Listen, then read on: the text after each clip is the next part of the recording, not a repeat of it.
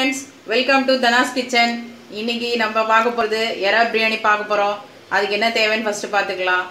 எறா கால் கிலோ அரிசி ரெண்டு டம்ளர் பாஸ்மதி ரைஸ் ஊற வச்சுருக்கேன். வெங்காயம் நீளமாக கட் பண்ணி வச்சுருக்கேன்.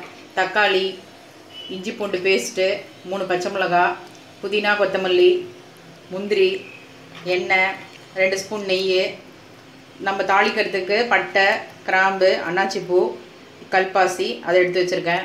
மசாலா பிரியாணி மசாலா ஒரு ஸ்பூனு கரம் மசாலா அரை ஸ்பூன் மஞ்சத்தூள் அரை ஸ்பூன் மிளகாய்த்தூள் ரெண்டு ஸ்பூன்.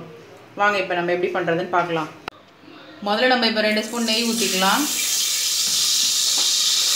நெய் நல்லா சூடானதுக்கப்புறம் அதில் நாலு ஸ்பூன் எண்ணெய் ஊற்றிக்கிறேன்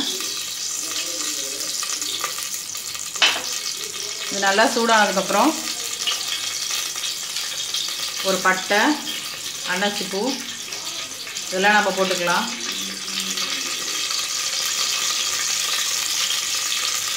இப்போ நம்ம இதில் கொஞ்சம் முந்திரி எடுத்து வச்சுருக்கேன். இதையும் போட்டு நல்லா வறுத்துக்கலாம்.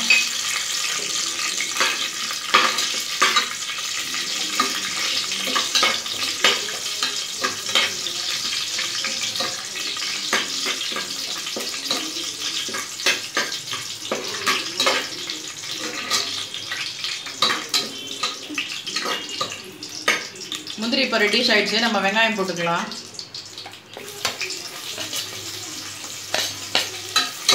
வெங்காயம் போட்டு நல்லா கோல்டன் ப்ரௌன் வர வரைக்கும் நல்லா ஃப்ரை பண்ணிக்கணும்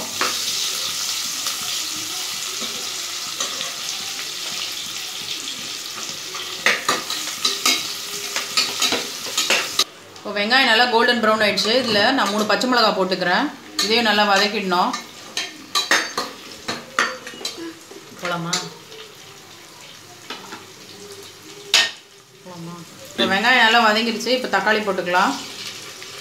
தக்காளி நல்லா வதங்கணும்.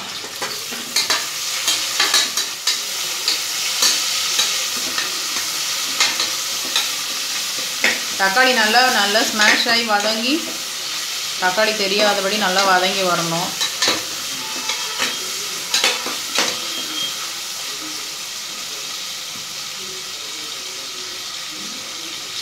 ரெடி இப்போ தக்காளி நல்லா நம்மளுக்கு வதங்கினதுக்கப்புறம் நம்ம இதில் இஞ்சி பூண்டு பேஸ்ட் ரெண்டு ஸ்பூன் இஞ்சி பூண்டு பேஸ்ட் போடணும்.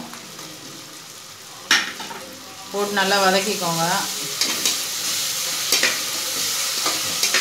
நல்லா இஞ்சி பூண்டு ஸ்மெல்லு பச்சை ஸ்மெல்லு போகிற வரைக்கும் நல்லா வதக்கிக்கோங்க. இப்போ இது கூடவே புதினாவும் கொத்தமல்லியும் கொஞ்சம் போட்டுக்கோங்க. போட்டு நல்லா வதக்கிக்கோங்க.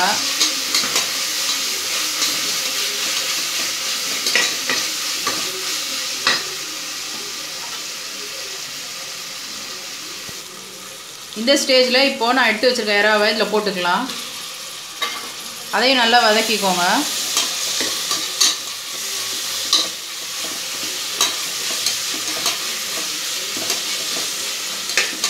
இறா இந்த எண்ணெயிலே நல்லா வதங்கி வரணும். அப்போ தான் அந்த மசாலாலாம் அந்த இறாவில் இறங்கும்.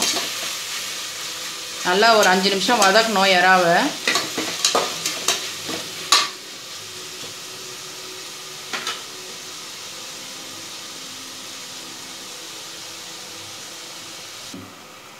இறா நல்லா வதங்கிடுச்சு. இந்த ஸ்டேஜில் நம்ம எடுத்து வச்சுருக்க மிளகாய்த்தூள் கரம் மசாலா பிரியாணி மசாலா மஞ்சள்தூள் இது எல்லாத்தையும் போட்டு நல்லா வதக்கிக்கலாம்.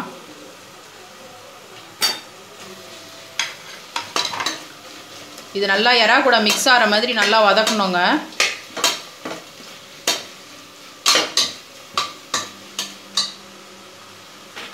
இது கூடவே நம்ம உப்பு சேர்த்துக்கலாம். அப்போ தான் அந்த இறாலையும் நம்மளுக்கு உப்பு இறங்கும். நான் இதுக்கு இந்த டிஷ்ஷுக்கு தேவையான அளவு உப்பு எடுத்து வச்சுருக்கேன். அதையும் போட்டுக்கிறேன். நல்லா கலந்துக்கோங்க. நல்லா அந்த இறாக்குள்ள அந்த மசாலாலாம் இறங்குற மாதிரி நல்லா வதக்கி விட்டுக்கோங்க.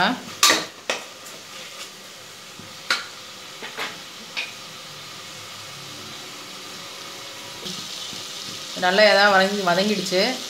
இப்போது நான் ஊற வச்சு ரெண்டு டம்ளர் ஊற வச்சுருக்கேன் பாஸ்மதி ரைஸை இதில் போட்டுக்கலாம்.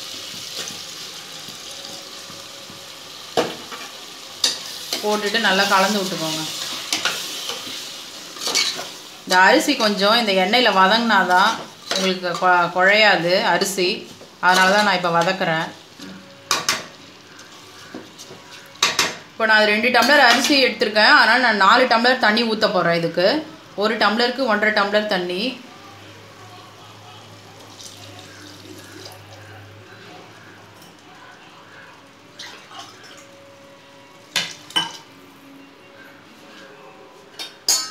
இது நல்லா கலந்து விட்டுக்கோங்க.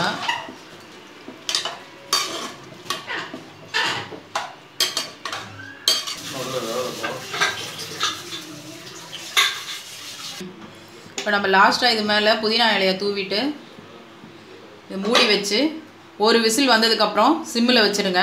அஞ்சு நிமிஷம் கழித்து ஆஃப் பண்ணிவிடுங்க அப்புறம் நம்ம திறந்து பார்க்கலாம் எப்படி இருக்குன்னு. ம்.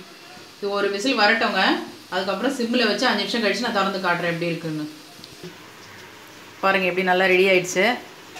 இப்போ அதை கலந்து காட்டுறேன்.